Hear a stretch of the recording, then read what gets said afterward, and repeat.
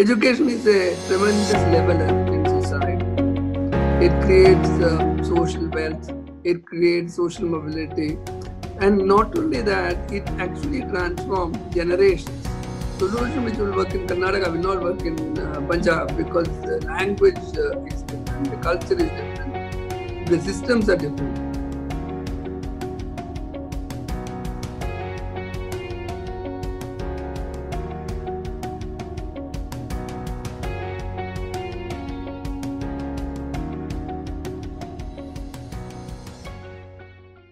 So today we have with us Mr. S.D. Shibulal. Mr. Shibulal was one of the seven founding members of Infosys in 1981 and served as a chief executive officer and managing director of Infosys from 2011 to 2014. He also founded Axilor Ventures and was pivotal in ensuring the changes that have brought Infosys to the stature that it holds today and is currently working on transforming education using Shiksha Lokam, which aims to enable and amplify leadership development opportunities for individuals and institutions engaged in K 12 education systems. Thank you so much for joining us, Mr. Shibulal. It's a pleasure having you. My pleasure.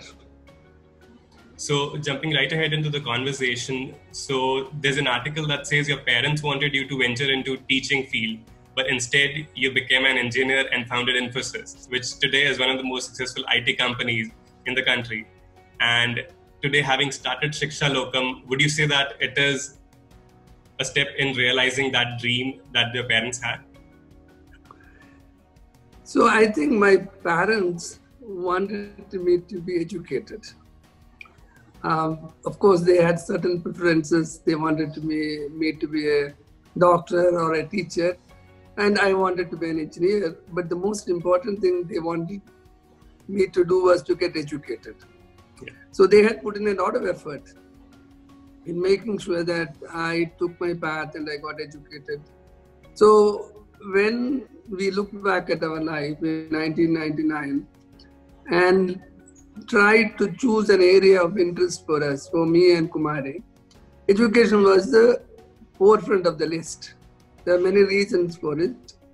Number one, we both, me and Kumari both, we got where we got because of the education which we got. So that was very clear. Education is a tremendous leveler in society.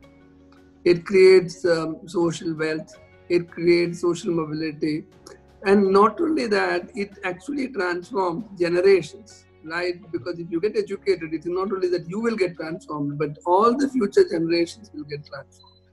So when you when you want to transform somebody's life uh, into a better life, education is uh, probably the most uh, important uh, vehicle which you can use. So we chose education as our field of interest in 1999 and started um, with a very small um, higher education scholarship program. Today, probably it is one of the largest uh, higher education programs in the country. We have about 4,000 students enrolled. Uh, it is called Vidyadhan. Then later on, we worked in various stages of education and by 2012, it became very apparent to us that the K-12 education um, in this country needs systemic change, right? And to drive any change in any system, it was very clear to me that leadership is the most important component. Because leaders' job is to drive change. Leaders' job is to identify areas of uh, improvement, create a plan of improvement, drive that improvement, measure the impact and create this virtuous cycle, continuous cycle of improvement. So when you look at the K-12 education, you need to drive systemic change and it was very clear that it requires leadership. So we chose um, um, systemic change in the education system through leadership development as a mission for us. And that's how the seeds of Shiksha Lokam was uh, put in place. Of course, the actual platform got built in 2017. Great. And if I touch upon your professional career, you have had tremendous strides with respect to global delivery systems or the project management, e commerce, or introducing Infosys 3.0 to propel Infosys into the next phase of evolution. So, how are you using that same innovative approach to, I would say, transform education through Shiksha Lokam now? So actually, if you look at uh, if you look at all the points which you talked about, whether it is global delivery model, whether it is Infosys 3.0, or the or the growth of Infosys over the years, three things come to my mind. Number one, I think the need for collaboration. See, Infosys is a teamwork-oriented organization. Then there's a tremendous need for collaboration. Number two, there is a um, enormous scale. Right. By the time I left Infosys, it was a very large organization. The scale was always um, important for those transformations. And number three is the impact. Right. So when I look at the Shiksha Lokam, it in many ways reflects these three things. Shiksha Lokam is designed for scale. The core of the Shiksha Lokam platform is a digital, is a, digital um, platform, digital infrastructure, which is designed for scale. It is open, it is um, free, it is scalable. That's the core of the Shiksha Lokam. The next layer of Shiksha Lokam is the collaboration, co-creation uh, level, which is enabled by the digital infrastructure. So that layer allows people to come together, the ecosystem to come together and collaborate and co-create content and solutions for the um, education system, for the education um, field. And the last layer is the amplification network which we have built, which allows us to scale tremendously. So today we work through 50 partners, 23 of them which we have incubated, 27 of them which are otherwise.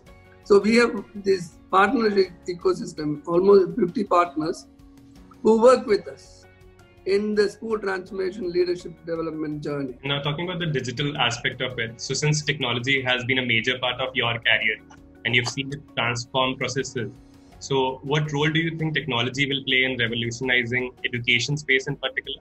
And now that it is required even more than ever since COVID has kind of hindered the offline model. So online is the next model. So how do you see that performing a crucial role in taking education to the next step? So if you look at the Indian ecosystem, K-12 education ecosystem, it's a very complex, very large ecosystem. You have 1.5 million government schools in the system. You have 4.5 million um, teachers and leaders in the system. Um, you have um, millions of children, uh, more than you know, probably close to 200 million children in the system. And so it's a very, very complex and very um, large ecosystem to work with. Now, if you look at the last few years, and especially after RTE, education has become universal. Um, the enrollment ratios have improved tremendously in K-12. So in 1950, the enrollment ratio was probably 25%. Today we are running at 76%. So we have improved the enrollment ratio continuously over the last uh, many years with various interventions. But if you look at the quality of education, there are worrying trends. The other point is it is very localized. Yeah. Right, the solution which will work in Karnataka will not work in uh, Punjab because the language uh, is different, the culture is different, the systems are different. So, when you want to transform such a system, when you want to actually work with such a system, create leadership and transformation, you need a system which is enormously scalable. It is ubiquitous. It has to be available. It has to be, of course, free. Otherwise, it's very difficult to um, implement. And a digital infrastructure provides all of these characteristics. If you look at our digital infrastructure, it is free, it is open, it is enormously scalable. It is ubiquitous because anybody who has a um, smartphone can access the system, right? So it addresses the, the digital infrastructure allows you to actually create this enormous scale, create this um, ubiquitous approach. It also allows you to contextualize because because we are working with partners in each of the states, the solutions which are being built are contextual, localized solutions. Even when they adopt a solution from another part of the country, because it's a collaborative, co-creative environment, you can actually take a solution from Karnataka and implement it in Punjab, but because it is being implemented by someone in Punjab, it becomes localized, it becomes contextualized. But the solution is not reinvented. That's the power of the platform. Because another big issue with such a system is to make sure that you don't keep reinventing the same thing over and over again, which means any solution which is created has to be visible across. And that can only be done in a digital platform, right? So the digital platform is extremely important to such a scalable approach. That's one part of it. Now, if you look at the COVID situation, you are in an environment where everything has to be done with zero touch. Yeah. Right? You, you have zero contact. So, for example, um, when um, um, AP wanted to roll out uh, their English teaching capability building, so they wanted to build capacity for English teaching across AP, Andhra Pradesh. If you are actually trying to do it in the traditional manner, you are actually going to call thousands of people into a class AP has 1.9 lakh people involved in the English teaching um, capacity building process. Imagine getting those people into a room and trying to train them, trying to give them content, trying to give them solutions, how to how to enhance their English teaching capability or capacity. It cannot be done in today's world. So Shiksha Lokam allowed them to do it on the digital platform. And now talking about the aspect of scale, so Shiksha Lokam currently works with government schools primarily. So, how would you say the response in those schools when you merge your intervention with the already present structure that is there? Do you feel that transformation is something that they kind of, you know, do not welcome, or it's something to, uh, it's something really difficult for you to kind of implement in those schools, or do you do they just like take it like wholeheartedly? So, number one, we work with the government very closely in the states in which we operate because we are looking for systemic change, right? One school, two school really is not um, in an approach uh, which will create any systemic change. Number two, we work with their priorities. Right? We are not going in there saying that this is the most, because this, the problems are very local, very contextual. The solutions are in the context. Right? Most people know the solution. The problem is implementation. How do you get it implemented in that scale, in that system, right? Um, that is where the challenge is, and that is where the platform allows to to do tremendous things. So we work with the government. We are very working very close to the system. We work on their priorities along with them, right? That that so all these things together, all these three things together, um, the friction to adoption is comes comes down very drastically. For example, Punjab. Punjab wanted to increase enrollment they felt that one of the main reason enrollments are not going up is because of the lack of involvement of the of the parents in the education system. So how do you improve this? They wanted to enable teacher-parent um, conversations, right? So they had to train 5 lakh teachers to connect with 25 lakh parents. So the another important part of um, our platform is a is a component called Bodh, which is the knowledge repository. We have about 3,000, close to 3,000 knowledge um, assets in the repository. So they use that knowledge repository to communicate to the teachers about this issue. How do you uh, connect with the parents? What are the conversations you should have? What are the questions you should answer? So they they had 25 lakh parents um, involved in this conversation along with 5 lakh teachers. And the end result was a 5% improvement in their enrollment ratio. I don't think Shiksha Lokam should take 100% credit for it, but there is definitely a big piece of the credit which goes to Shiksha Lokam because when you want to enable 5 lakh parents, uh, teachers, it's not easy to do it through any other um, platform other than um, uh, a digital platform, right? How are you using research-based model to make Shiksha Lokam remain relevant and provide sustainable outcomes, and make sure that it does not get written off as just another educational intervention? I think um, research is a very, very important part of uh, part of Shiksha Lokam. Um, at the um, user level itself, I'll give you an example first. Um, so the, I talked about um, Samiksha and Bodh. Samiksha is the in context observation platform, and Bodh is the knowledge repository. There are two other parts to Shiksha Lokam. One is Unnati, which actually uh, tracks micro improvements. So after you do observation, you have to, you identify areas of improvement. You then start improvement process, and that gets logged into uh. And the last piece is uh, is a in um, on demand dashboard, okay. which does all the analytics.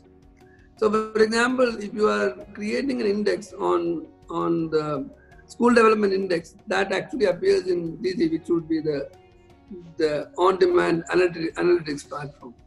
That platform is based on many areas of research which we have done over a period of time, right?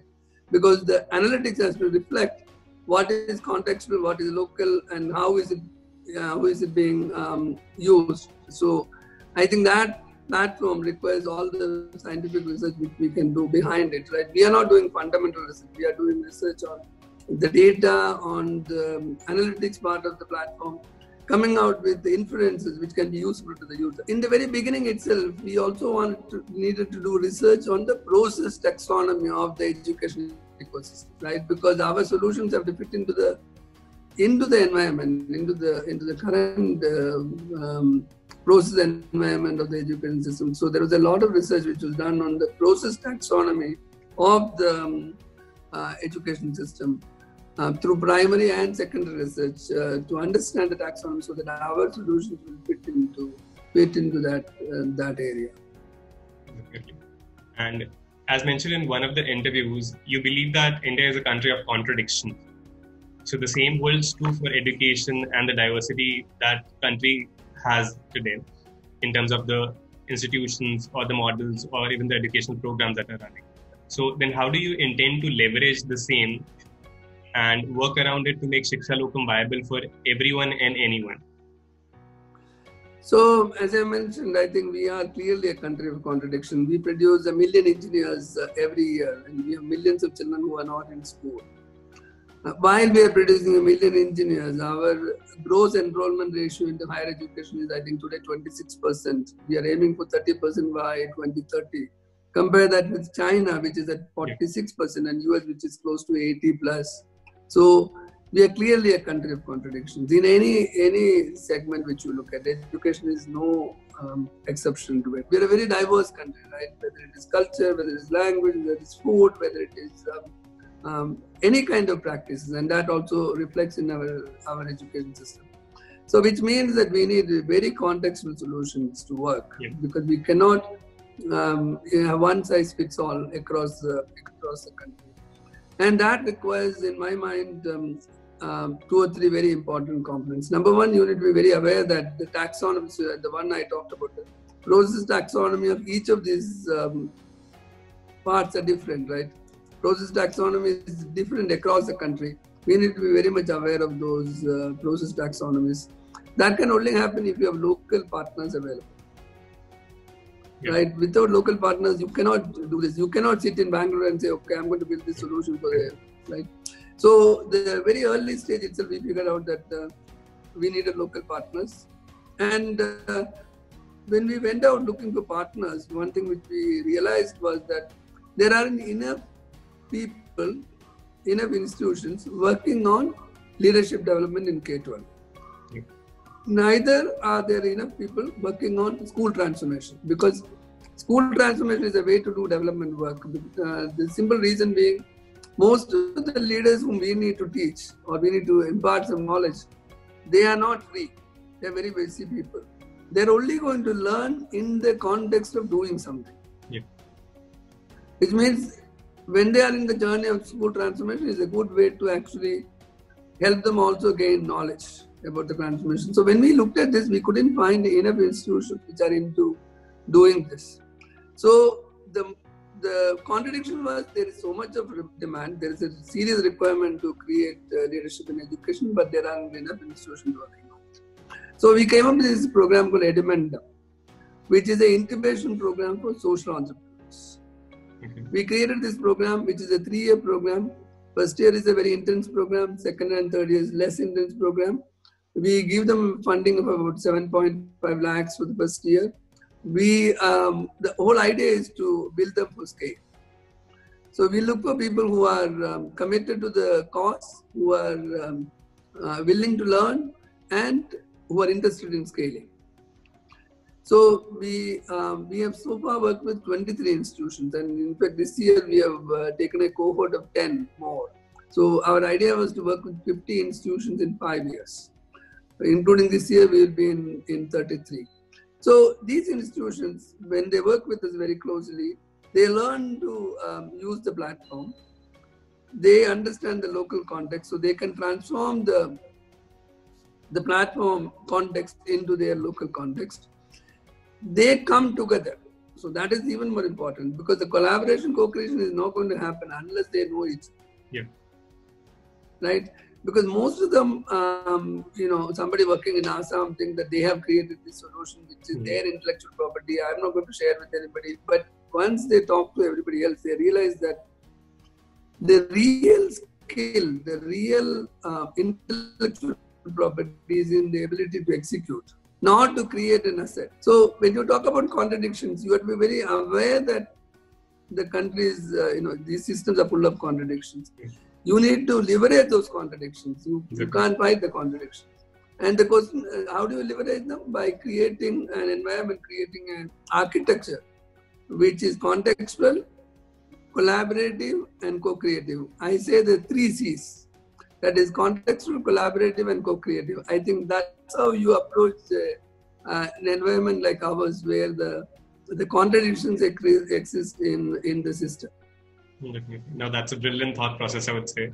And coming to the end of the conversation, so what would be some of your suggestions to the people in the domain of education on how they can approach it for even better impact?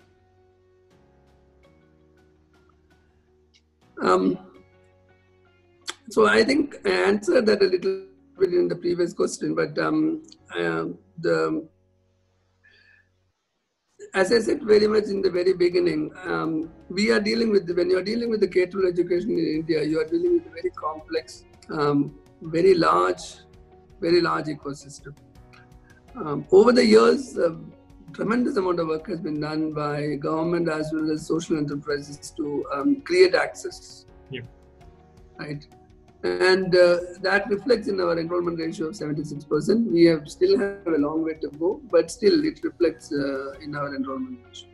Today, the conversations are more about quality and outcomes and impact of education, which means that we need to clearly focus on building capacity for our teachers, our leaders, and for systemic change. Right? Interestingly enough, even today, if you look at the ecosystem with 1.5 million government schools and 4.5 million uh, teaching leaders, we are uh, we are missing about 9 lakh teachers. We are short of 9 lakh teachers in the system. So there is still um, a lack of capacity in the system to fulfill our promise to our children. Um, so when you work in this in this kind of a system, you really um, need to look at you need to really create scale, scale and impact. I think these are the two mantras which you should keep in mind: scale and impact. And the way to do that would be to le- leverage platforms like Shikshalok.